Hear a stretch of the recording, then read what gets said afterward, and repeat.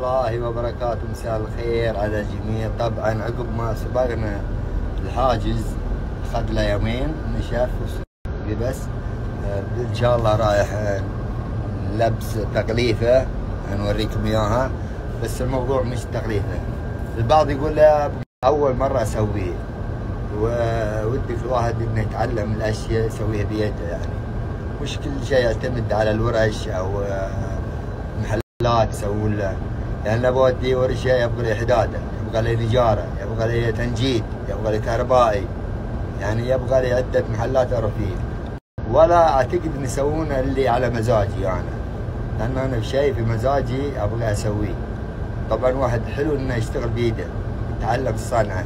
محمد ليه ما وديت الباص الورشه ويضبطونه؟ طبعا كل واحد قد امكانياته